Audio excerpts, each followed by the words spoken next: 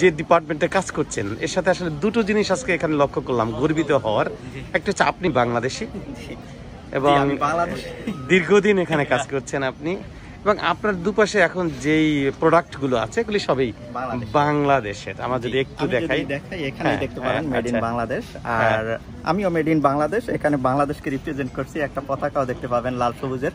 হ্যাঁ হ্যাঁ। তো বেলজিয়ামের রাজধানী ব্রাসেলস ব্রাসেলসের প্রেরণ প্রাণকেন্দ্র এটি। এই প্রাণকেন্দ্রে এ, আপনার শনিবার এই শনিবার দিন দুপুরের পরে আসলে এরকম ভিড় ছিল। করোনা পরবর্তী সেই শরতের ছুটি শুরু হওয়ার পর আসলে এখানে বোঝাই যাচ্ছিল না যে এখানে সেই করোনা নামের প্রাদুর্ভাব আসলে ছিল অথবা আছে। প্রিমার আচ্ছা যে প্রাইমার্ক আউটলেট এখানে লাইন সেই অর্ধ কিলোমিটারও বড় হবে আসলে এই লাইনটি সেই সেন্টার থেকে এই পর্যন্ত আসলে দেখছিলাম। আপনার ভোক্তারা লাইন ধরে দাঁড়িয়ে আসলে ঢুকছিল এই আউটলেটটিতে কেনাকাটার জন্য। আমরা আসলে বুঝে উঠতে পারছিলাম না যে এত মানুষ কেন এই আউটলেটটিতে আসলে ঢুকছে।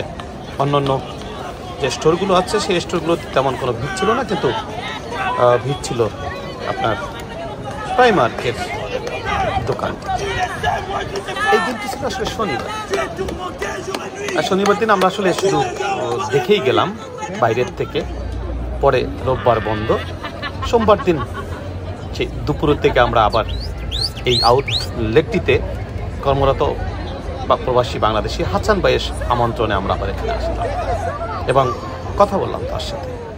তবে তার কথা থেকে যে বিষয়টি আমরা লক্ষ্য করলাম যে এখানে বাংলাদেশের চেয়ে এখানে বর্তমানে আমাদের পার্শ্ববর্তী দেশ মিয়ানমার, অর্থাৎ বার্মা এবং কম্বোডিয়ার প্রোডাক্টগুলো মানে গুণে এবং দামে অনেক বেশি।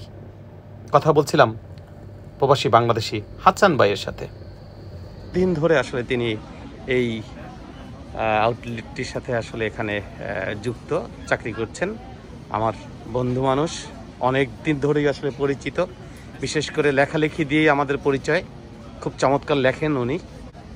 এই যে ডিপার্টমেন্টটা এখন, এই মুহূর্তে আমাদের ছেলেপেলেরাও এখানে আছে দৌড়াচ্ছে, দেখছে। উনি এই ডিপার্টমেন্টে এখানে কাজ করছেন। তা ডিপার্টমেন্টের এখানে যা দেখলাম এইগুলো যে যেসব কাপড় চোপড় অর্থাৎ এখানে যেগুলো আছে, এগুলি সবই আসলে মেড ইন বাংলাদেশ। হ্যাঁ আমরা শুরুতে আসলে এই বিষয় নিয়ে অনেক আলাপ করেছিলাম ভাইয়ের সাথে। এবং যে আমরা যে গর্বিত আমাদের দেশের যে পোশাক শিল্প পোশ- পোশাক যে যে এখানে আছে শুরুতেই আসলে সেখানেই যাব। হাসান ভাই আপনি এই যে ডিপার্টমেন্টে কাজ করছেন এর সাথে আসলে দুটো জিনিস আজকে এখানে লক্ষ্য করলাম গর্বিত হওয়ার। একটা হচ্ছে আপনি বাংলাদেশি এবং দীর্ঘদিন এখানে কাজ করছেন আপনি। এবং আপনার দুপাশে এখন যেই প্রোডাক্টগুলো আছে এগুলি সবই বাংলাদেশ। বাংলাদেশের। আমরা যদি একটু দেখাই। দেখাই এখানে হ্যাঁ, দেখতে পারেন মেড ইন। বাংলাদেশ আর আমিও মেড ইন বাংলাদেশ এখানে বাংলাদেশকে রিপ্রেজেন্ট করছি। একটা পতাকাও দেখতে পাবেন লাল সবুজের। হ্যাঁ, লাল সবুজের পতাকা দিয়ে যে বাংলাদেশকে আমি প্রতিনিধিত্ব করছি একদিক থেকে। আর গার্মেন্টস আমাদের ভাই বোনেরা যেটা বাংলাদেশ থেকে উৎপাদন করছে সেটাও আমি মূলত এখানেই বিক্রি করছি আর কি। যাই হোক এখন এ প্রসঙ্গে একটু বলা যায় যে আমাদের এখানে বাংলাদেশি গার্মেন্টস কিন্তু অনেকই আছে কিন্তু তার চেয়েও কিন্তু অন্যান্য দেশের পণ্য অনেক আছে। যেমন ধরেন যে দামি পোশাকগুলো আছে ওখানে যে চায়না যে একটু বেশি দামি প্রোডাক্টগুলো চায়না মায়ানমার এবং কি বলে কম্বোডিয়া এদের থেকে অনেক আসে আর তারপরেই আসে বাংলাদেশ বাংলাদেশ থেকে। হ্যাঁ, এক্ষেত্রে আপনার কাছে একটু চম আমার একটা প্রশ্ন সেটি হচ্ছে আপনি বলছেন এই মুহূর্তে আসলে আপনার এখানে মায়ানমার আমার প্রতিবেশী দেশ যেটা মায়ানমার এবং কম্বোডিয়ার যে প্রোডাক্টগুলো আছে এই প্রোডাক্টগুলো বেশি উন্নত মানের। বাংলাদেশের বাংলাদেশের technically যে দামেও যেটা দেখলাম সেটা হচ্ছে দ্বিগুণ প্রায়। দ্বিগুণ তিনগুণ দাম এবং কোয়ালিটিও দেখছি অনেকটাই অন্যরকম যেটি বাংলাদেশে আসলে হচ্ছে না। বাংলাদেশে আসলে হচ্ছে না।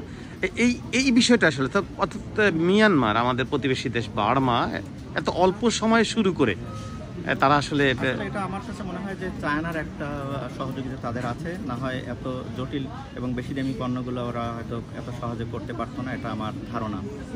এই যে কারণে আমার কাছে মনে হয় যে চায়নার একটা সহযোগিতা ওদের আছে। যে কারণে আমরা এখনও মানে এই মার্কেটে যদি আপনি সার্ভে করেন সেখানে দেখবেন যে তারা আমরা পিছিয়ে আছি।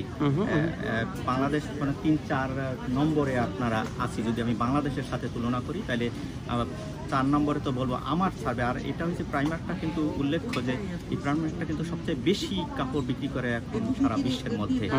তো এখন সারা বিশ্বের মধ্যে বলতে ইউরোপীয় ইউনিয়নে তো অনেকেই আছে এবং এই স্টোরটা কিন্তু অনেক বেশি মানে এ, অনেক দেশে এটা ছড়িয়ে পড়তেছে এবং আমরা নতুন নতুন স্টোর খোলাচ্ছে এটা ব্রাসেসে প্রথম দ্বিতীয় স্টোর কিন্তু এখন এই বেলজিয়ামে আমরা আটটা দশটা স্টোর করে ফেলছি ইতিমধ্যে। না আমি গত শনিবার যেটা লক্ষ্য করলাম এখানে অন্য কোনো মার্কেটে এরকম লাইনগুলো আসলে দেখছিলাম না।